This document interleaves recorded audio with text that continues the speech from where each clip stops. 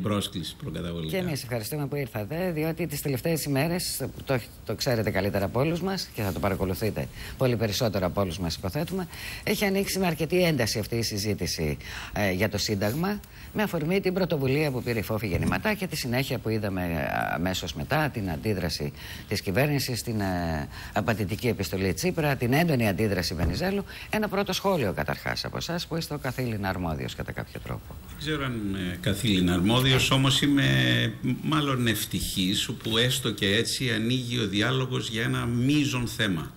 Ένα θέμα το οποίο ε, θα πρέπει να συζητηθεί, θα πρέπει να ενημερωθούμε όλοι για το περιεχόμενο κάθε μιας από τις προσαναθεώρηση διατάξεις, ε, να δούμε τις συνέπειές της, ε, να εκφράσουμε ε, απόψεις, ιδέες, να καταγράψουμε την κοινωνικά παραγόμενη γνώση και εμπειρία, ούτως ώστε να είναι πολύ πιο ε, οπλισμένοι θα έλεγε κανείς οι εκπρόσωποι μας, οι βουλευτές μας όταν αποφασίσουν για, και ανοίξει τυπικά πια αυτή η συζήτηση. Αυτό ακριβώς είχε, προσπάθησε να κάνει και η Επιτροπή, ε, για την, ε, η Επιτροπή Διαλόγου για την ε, συνταγματική αναθεώρηση. Μια άνοιξε αυτή η Επιτροπή που έχει ολοκληρώσει βέβαια το έργο της, άνοιξε το διάλογο και προσπάθησε να ενημερώσει και τους πολίτες να συζητήσει ε, με πολίτες, να εμπλέξει τους πολίτες στη διαδικασία, να κινητοποιήσει και να έρθει σε ένα διάλογο με επιστημονικούς και κοινωνικούς φορείς και να καταγράψει τις απόψεις τους ούτως ώστε ε, και να ενημερώσει αλλά και να βοηθήσει την τυπική διαδικασία. Ε, αυτό πρέπει να συνεχιστεί. Πρέπει το περιεχόμενο της επικείμενης αναθεώρησης να είναι πολύ ψηλά στην ατζέντα από τώρα μέχρι τις, ε, την ολοκλήρωση της πρώτης φάσης του, του, της συνταγματικής αναθεώρησης που είναι η εντολοδόχος ας πούμε βουλή, η νυν βουλή και να ανέβει πολύ ψηλά στην, στην ατζέντα διαλόγου όπως λέει και ο συνταγματικός νομοθέτης ανάμεσα στην εντολοδόχο και στην αναθεωρητική βουλή. Που θα είναι η επόμενη. Να μην, που θα είναι ακριβώς η επόμενη, να μην ε, περάσει κάτω από γενικές ε, λογικές και ρητορίες ε, αυτή η πολύ πολύ σημαντική θεμελιώδης ε, διαδικασία για τη δημοκρατία μας. Επειδή εκ των πραγμάτων κύριε καθηγητά η αναθεώρηση του συντάγματος είναι ένα κατεξοχήν πολιτικό γεγονός εσείς εκτιμάτε ότι υπάρχουν περιθώρια ευρύτερων συνεννοήσεων ε,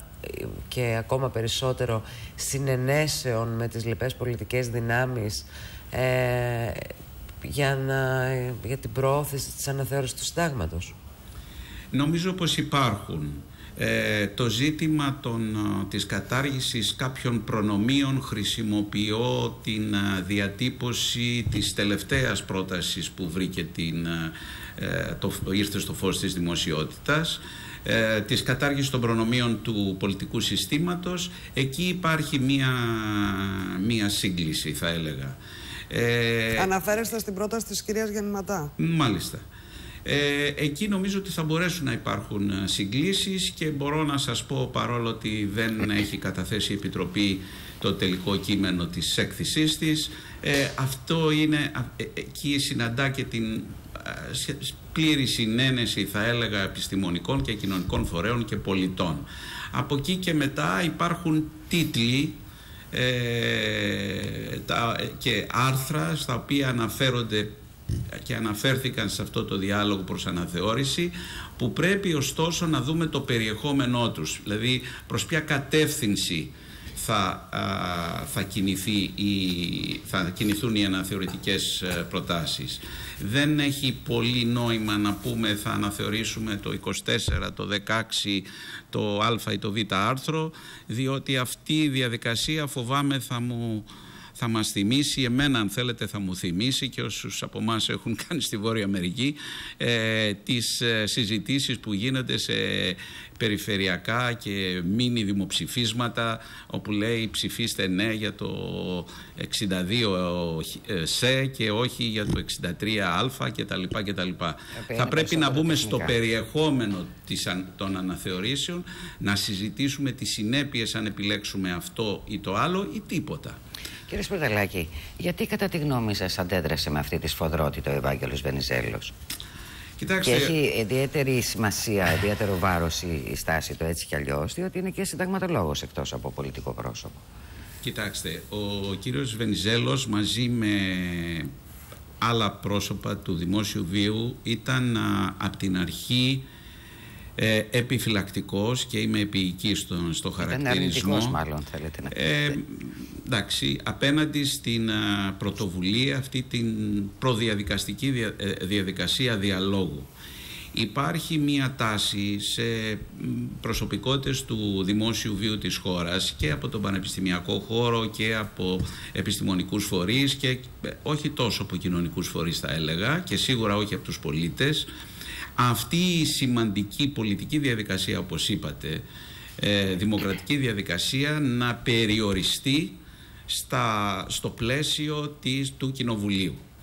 Ωστόσο, ακόμα και ο συνταγματικός νομοθέτης ε, θέλει την προσφυγή στη λαϊκή βούληση, διότι διαφορετικά δεν θα επέβαλε εκλογές ανάμεσα στην εντολοδόχο και στην αναθεωρητική βουλή. Θέλει να συζητήσουν οι πολίτες. Μια, ε, και ο κύριος Βενιζέλος ήταν από εκείνους, για να έρθω στην ερώτησή σας, από εκείνους τους, οι οποίοι ήθελαν ε, να μην γίνει αυτός ο διάλογος.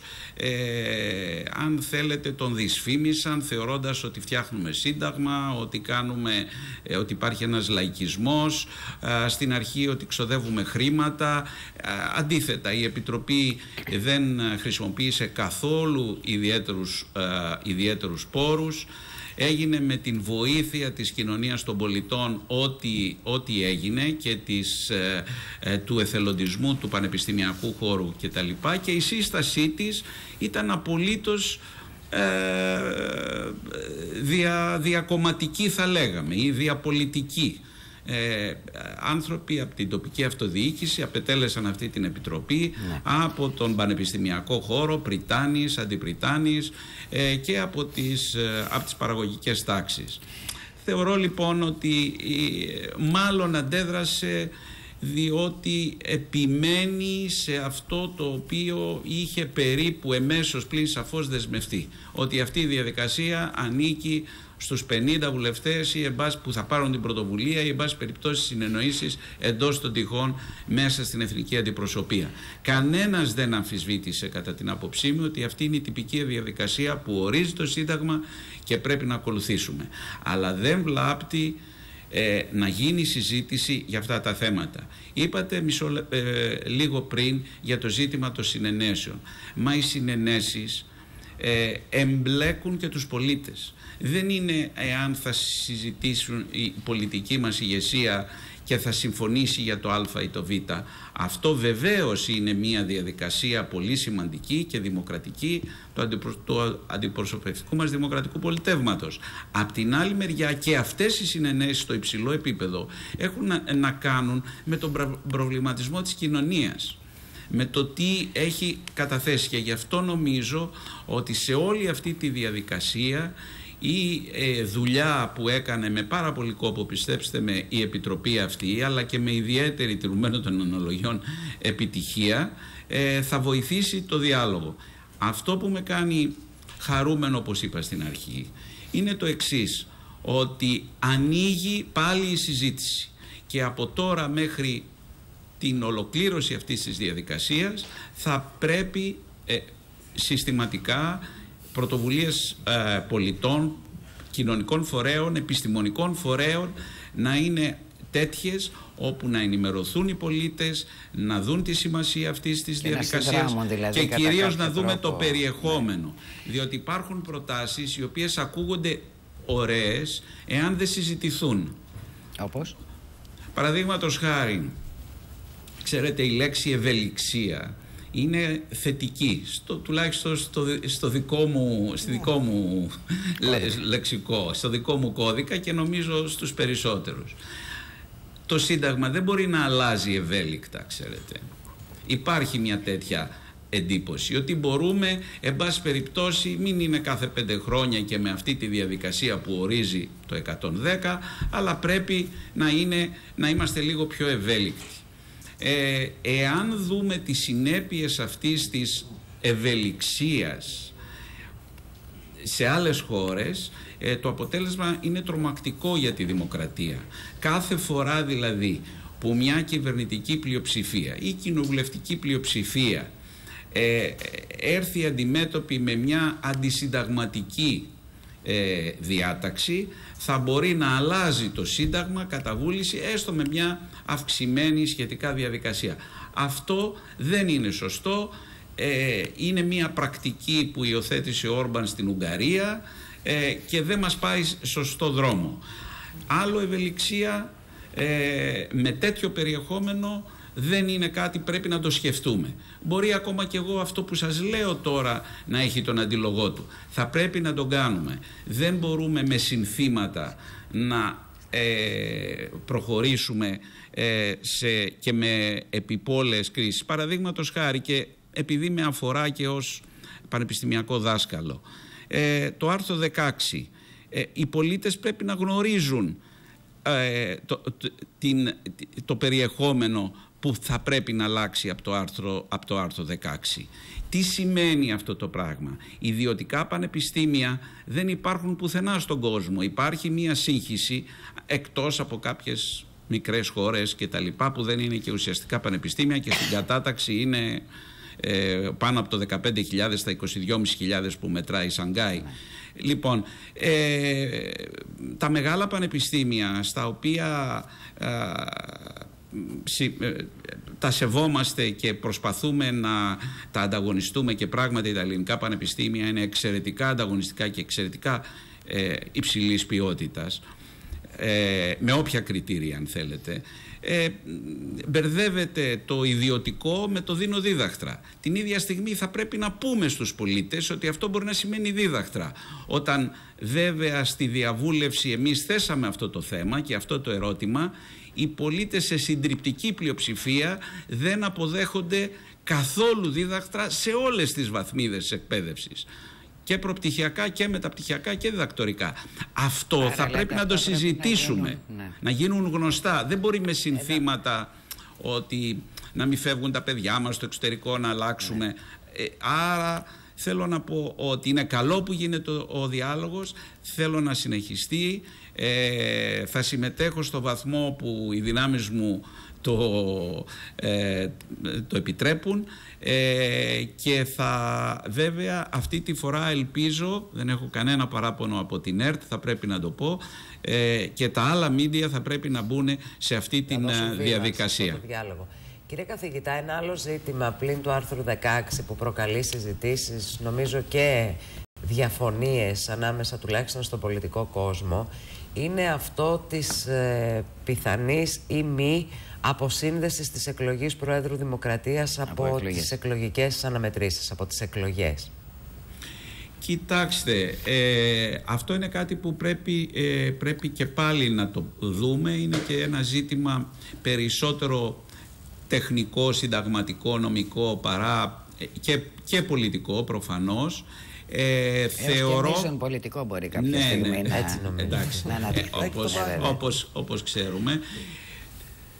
Θα έλεγα ότι και εδώ κάτω από ορισμένες προϋποθέσεις θα, θα μπορέσει να υπάρξει μια ευρύτερη, ευρύτερη συνένεση.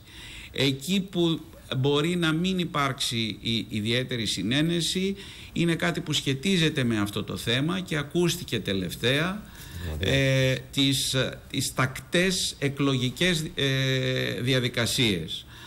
Κοιτάξτε, το κοινοβουλευτικό σύστημα, η κομματική δημοκρατία ε, είναι ένα δυναμικό σύστημα. Δεν στηρίζεται σε έναν απίστευτο φορμαλισμό και σε μια τυπικότητα. Οι πολίτες είναι ζωντανοί, τα προβλήματά τους είναι εδώ, βρίσκουν διέξοδα, κάνουν προτάσεις, συμμετέχουν με τον α ή το β τρόπο. Το πρότυπό μας για πάρα πολλά χρόνια, ε, θυμίζω, ήταν το Ηνωμένο Βασίλειο. Όμως είδαμε ότι οι εκλογές γίνονται κάθε τέσσερα χρόνια, συγκεκριμένη μέρα κτλ. Είδαμε όμως ότι ε, στις τελευταίες ε, εξελίξεις την Τερέζα Μέη να καλεί εκλογές πολύ πιο πριν από ότι γιατί, να το, ε, γιατί αυτή την δυναμικότητα που έχει κάθε φορά η συγκυρία να μην την αφήσουμε στους εκπροσώπους μας ε, και να σεβαστούμε αυτή την ε, δυναμική, αν θέλετε αυτή την σχέση, αυτή τη διαλεκτική σχέση, το δέσιμο μεταξύ πολιτών και ε, πολιτικής εκπροσώπησης. Άρα εξετάζεται είναι η απάντηση. Ναι, αλλά ε, και εσείς νομίζω ότι προδιαγράψατε ότι από αυτού θα υπάρξουν διαφορετικές απόψεις και ενδεχομένως... είπα ότι σε σχέση με, τις, με την εκλογή του Προέδρου της Δημοκρατίας ε, μπορεί και τη σύνδεσή της με τις, ε, με τις εκλογές εκεί μπορεί να βρεθούν Ναι, όχι, ως προς το δεύτερο που είπατε. Ως προς το δεύτερο που θέτω εγώ νομίζω ότι θα πρέπει να είμαστε λιγάκι ε, θα πρέπει να συζητηθεί πιο πολύ είναι και ένα ζήτημα που οι λεπτομέρειές του αυτή τη στιγμή δεν Μπορεί μπορούμε να, να τις συζητήσουμε. Ακριβώς. Κύριε μία από τις εχμές των επικείμενων αλλαγών είναι και η κατάργηση του νόμου περί ευθύνης υπουργών. Είναι ε, στην ατζέντα της αλλαγής ας πούμε. Κοιτάξτε, ε, είναι το, ε, το άρθρο 86 είναι, είναι ένα άρθρο το οποίο εγείρει πολλές, ε, πολλές σκέψεις. Είναι ε, ακραία σύντομος ο, ο χρόνος παραγραφής, των παρανομιών αν θέλετε των Υπουργών και αυτό δημιουργεί τεράστια προβλήματα και ανισότητες ανάμεσα, ανάμεσα στους πολίτες. Γι' αυτό θεωρώ... Και υποψίες για συγκάλυψη εκτός Και υποψίες για συγκάλυψη. Αυτό δεν βοηθάει τη δημοκρατία. Αυτό δεν βοηθάει τη δημοκρατία. Οποιασδήποτε εχμές ε, προς αυτή την κατεύθυνση ε, νομίζω ότι δεν βοηθάει. Εδώ θεωρώ ε, και ελπίζω αν θέλετε να υπάρχει, μια, ε, να υπάρχει συνένεση ώστε αυτό να το δούμε από την αρχή. Ένα άλλο θέμα που θα μπορούσε ενδεχομένως να έχουμε ε, συνενέσεις και συγκλήσεις νομίζω ότι ε, ξεπερνάω τα όρια των, της ευθύνης και των περιορισμών που έχω ως, ως πρόεδρος Επιτροπής αν θέλετε ως πολιτικός επιστήμονας μπορώ να μιλήσω είναι το ζήτημα της χρηματοδότησης των κομμάτων. Ε, ναι. Ε, ο νόμος μας είναι πάρα πολύ καλός, πρέπει να εφαρμοστεί. Αν χρειαστεί να βάλουμε κάποιες επιπλέον δεσμεύσεις συνταγματικού κύρους στο Σύνταγμα, ε, ας το κάνουμε. Είναι πολλά ακόμα τα ζητήματα, αλλά θα πρέπει να ανοίξει ο διάλογος για να μπορέσουμε να τα αντιμετωπίσουμε. Εντός της Βουλής αυτός ο διάλογος, ε, γρήγορα, μία ερώτηση μόνο. Ναι, Μπορεί να ξεκινήσει και πρέπει να ξεκινήσει κατά την άποψή σας άμεσα ή μετά τον Αύγουστο, όπως ήταν η απάντηση από την πλευρά της κυβέρνησης; Κοιτάξτε, ο, ο διάλογος ε, μετά από την πρωτοβουλία της ε, Επιτροπής που είχα την τιμή να συντονίσω ε, έγινε ηλεκτρονικά σε δύο βάσεις. Ε, επισκεφθήκαμε 8 πρωτεύουσες ε, περιφερειών όπου εκεί οι περιφερειάρχες οργάνωσαν εκτενείς διήμερα πολλές φορές ε, διαλόγου και πάρα πολλοί κοινωνικοί και φορείς και επιστημονικοί φορείς ήρθαν και κατέθεσαν τις προτάσεις τους. Έχει γίνει, πολύ σύντομα θα υπάρχει ένα σώμα, ένα πρώτο σώμα. Νομίζω ο διάλογος μπορεί να ξεκινήσει τώρα γιατί με, πέρα από το, από το διάλογο ε, πρέπει να γίνει και ενημέρωση. Η ενημέρωση των πολιτών να δούμε τι σημαίνουν όλα αυτά. Πρέπει να καταγράψουμε και τις αγωνίες. Ε, ε, βρισκόμαστε σε μια φάση ε, κρίσης, περάσαμε μια πολύ σημαντική κρίση ε, εκπροσώπησης πρωτίστως, πολιτική κρίση, κρίση της δημοκρατίας, μας, ναι.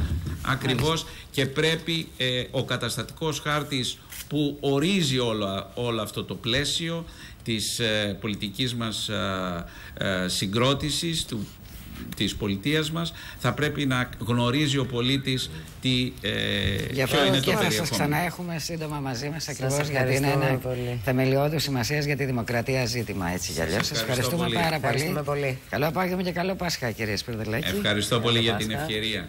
Λοιπόν, καλό